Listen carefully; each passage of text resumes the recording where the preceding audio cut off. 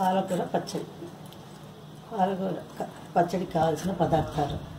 ఇది పాలకూర ఒక కట్ట ఆయిల్ పచ్చిమిర్చి కట్ చేయాలి సన్నగా. ఆనియన్స్ అవి కూడా చిన్నగా కట్ చేసుకోవాలి. పసుపు ధనియాల పొడి ఉప్పు. వెలిగించాను. పెన్నం పెట్టినాము ఇప్పుడు. పెన్నం పెన్నం పెట్టి మనం ఆయిల్ వేయాలి. ఆయిల్ చూడండి. కట్టి రెండు మూడు నాలుగు. ఈ గరిటతో నాకేసాను కొంచెం మంట పెంచుకోండి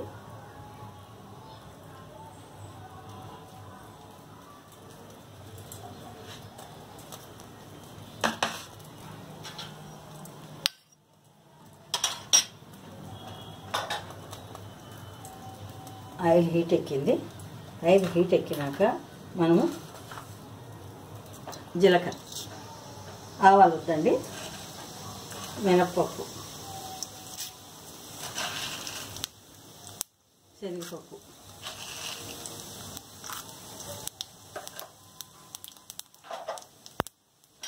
కొంచెం చిటపటలాడనియండి తర్వాతను ఇట్లా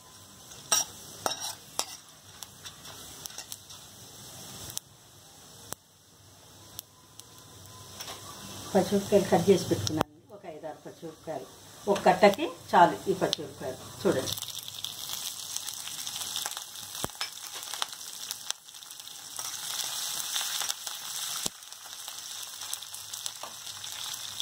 ఒక ఆనియన్ కట్ చేసుకున్నాను. ఇలా సన్నగా.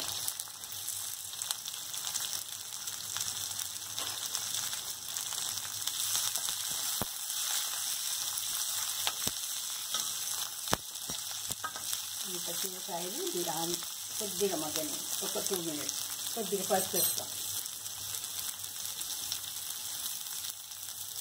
పసుపు. ఏ దాంట్లోకైనా ప్రతి దాంట్లోకైనా పసుపు ఉండాల్సిందే. చూడండి. వేయటం కదా పచ్చిమిరపకాయలు అని ఆనియన్స్. ఇట్లా కొంచెం కలుపుతూ ఉండాలి. అట్లే పెడితే మాడిపోతుంది అనమాట కొద్దిగా మగ్గ పచ్చిమిరపకాయలు ఇప్పుడు మళ్ళీ మగ్గిపోయినాయి కదండి చూడండి. ఇది చూడండి. అప్పుడు వేసినప్పటికీ ఇప్పుడు ఇట్లా వచ్చేసింది. ఇప్పుడు మీకు ఆకు పాలకూర చూపించాను. ఆ పాలకూరని ఇలా కట్ చేసుకోవాలి. చిన్న చిన్న పీసులుగా. ఒక కట్ట. ఇలా చిన్నవి చేసుకున్నాను చూడండి. అప్పుడు మీకు పాలకూర చూపించాను కదా. ఇలా.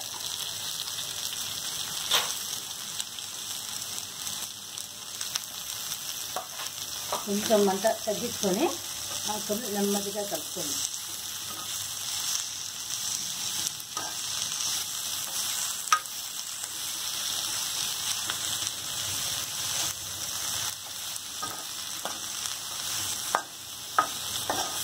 కొన్ని నిమిషాలంటే మగ్గిపోతుంది. ఆకు అంత మెత్తగా అయిపోతుంది.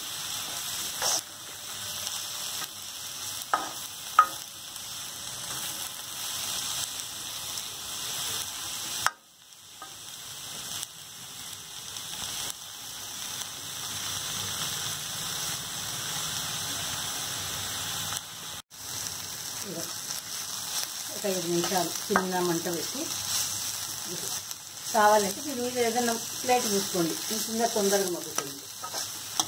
చూడండి ఆకు అప్పుడు ఎట్లా ఉంది? ఇప్పుడు చూడండి.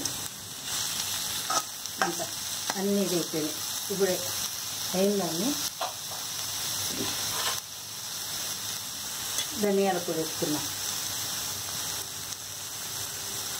ఒక కట్టకు ఒక రెండు స్పూన్లు పడుతుంది.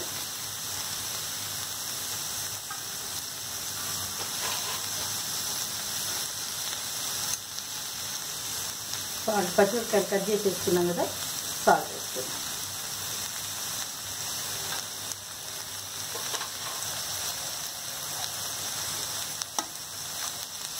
అంతా ఒక్కసారి.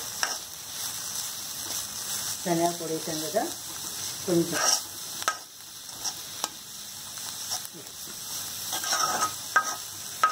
మీకు ఇష్టం ఉంటే ఇట్లాగే తినొచ్చు. దింపుకొని లేదు మేము ఇట్లా తినలేమంటే మిక్సీకి వేసుకొని కొంచెం కచ్చపచ్చ చేసుకొని తినండి కొంతమంది ఇట్లా కూడా ఇష్టపడతారు. ఆకాకు ఆనియన్స్ పచ్చిమిర్చి దీంట్లో అన్నీ వస్తాయి కదా. నోటికి శనగబేళ్ళు చూడండి. అన్నీ మినబేళ్ళు శనగబేళ్ళు జీలకర్ర. ఉమ్, మగ్గిపోయింది. ఇంకా స్టవ్ కట్టేసి మిక్సీకి వేసేసుకోండి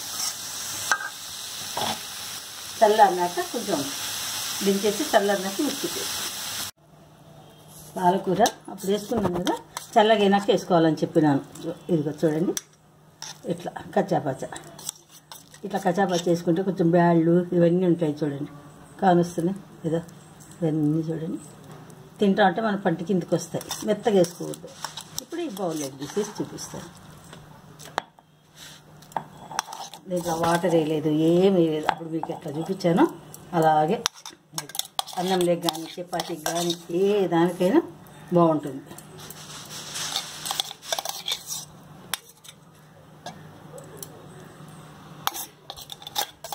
నలుగురు ఉంటే ఒక పూటకి సరిపోతుంది ఒక కట్ట.